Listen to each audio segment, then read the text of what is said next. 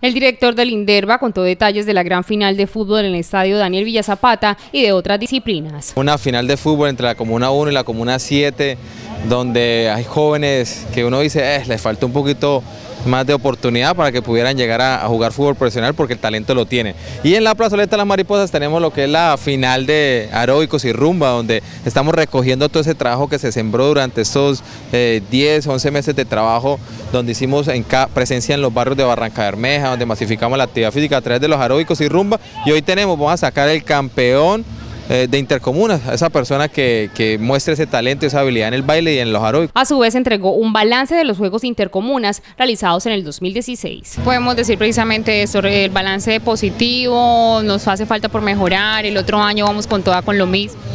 La verdad el balance es positivo, lógicamente en todo proceso eh, hay cosas por mejorar, hay cosas por mejorar, pero son mucho, mucho, muchas las cosas positivas para potencializar y ojo, hacer un llamado de atención y decir, en Barranca Bermeja hay talento, puede pasar cosas importantes si empujamos un poquito más a estos jóvenes que tanto requieren eh, eh, esa atención y esa ayuda. La idea, según el director del INDERVA, es que con estos espacios se sigan descubriendo talentos.